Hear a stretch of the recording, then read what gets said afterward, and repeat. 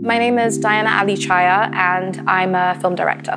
I studied fine art at school, and so I was making art for a really long time, sort of performance and weird video art.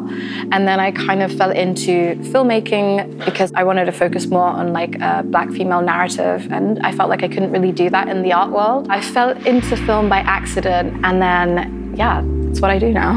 I felt like growing up, I never really saw people that looked like me on TV. Having black characters in front of a camera and it not being in kind of a nuanced way, very deliberate. I think, you know, our protagonist, Engina, is someone that has been in the industry for a really long time and has persevered and is super successful. And, you know, the film really embodies her never stop, never settle mentality.